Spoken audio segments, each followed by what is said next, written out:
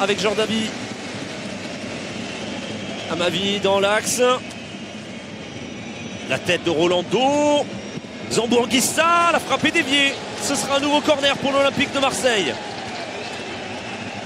Ah, il en vaut Anguissa dans ce match hein, depuis son Ah entrée. oui, alors oui, ce ballon était, il était bien parti. hein. Il a repris un demi-volée.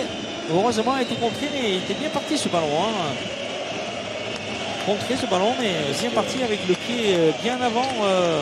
Contré par, euh, par Lucas Ocampos en l'occurrence. Ouais, mais l'arbitre n'a pas vu. Non, ça sera donc un corner marseillais. Il y avait que trois arbitres qui n'ont pas vu. Non. Allez, Payet, c'est tiré. Allez, Oh, pourquoi but pas Et le but Le but pour l'Olympique Marseille Rolando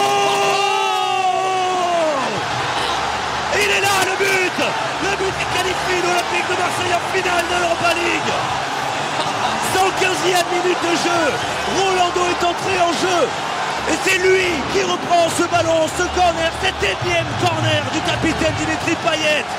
Et ça fait 2 buts à 1. Marseille pour l'instant est qualifié pour la finale de Ligue Europa. Eh oui, sur un coup, un corner